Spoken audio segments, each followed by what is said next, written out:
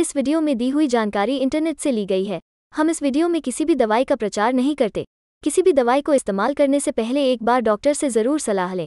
अगर आप इस वीडियो को देखकर किसी दवा का उपयोग करते हैं और आपको कोई साइड इफ़ेक्ट होता है तो उसमें हमारी कोई ज़िम्मेदारी नहीं होगी।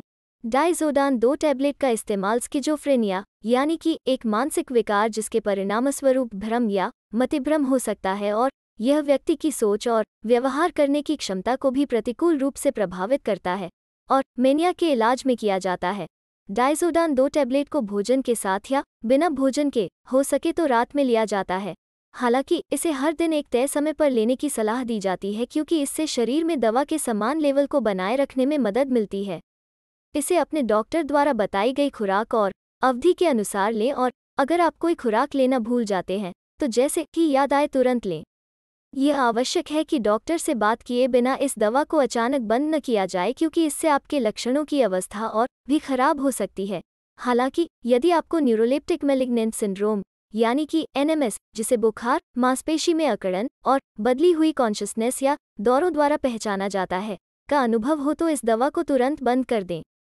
इस दवा के कुछ सामान्य साइड इफ़ेक्ट में इंसोमनिया, दवा खाने के बाद आने वाली नींद सोमनोलेंस पार्किंसनिज्म और सिर दर्द शामिल हैं। शुरुआत में, जब आप पोजीशन बदलते हैं तो यह दवा ब्लड प्रेशर में अचानक कमी ला सकती है। इसलिए अगर आप बैठे या लेटे रहे हैं तो धीरे धीरे उठना बेहतर होता है।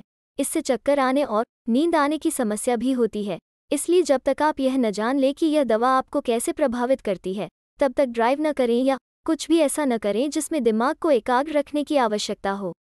इस दवा से आपका वज़न बढ़ सकता है। लेकिन एक स्वस्थ डाइट लेकर और नियमित रूप से व्यायाम करके अपनी लाइफ स्टाइल को बदलना इस साइड इफ़ेक्ट को कम कर सकता है। अगर आप इस दवा का उपयोग कर रहे हैं तो आपको सावधानी बरतनी चाहिए क्योंकि इससे डायबिटीज़ विकसित होने का खतरा बढ़ सकता है। इसलिए ग्लूकोज की नियमित रूप से निगरानी करना बेहतर होता है। इस दवा का सेवन करते समय अगर आपके मूड या व्यवहार में कोई असामान्य बदलाव होता है, आप में नए या बिगड़ते जा रहे अवसाद या आत्मघाती विचार के लक्षण दिखें तो अपने डॉक्टर को बताएँ। वीडियो को पूरा देखने के लिए धन्यवाद। अगर आपको वीडियो अच्छी लगी हो तो वीडियो को लाइक करें और साथ ही हमारे चैनल को सब्सक्राइब करके नोटिफिकेशन बेल आइकॉन पर क्लिक करें और ऑल नोटिफिकेशन को क्लिक करें। धन्यवाद।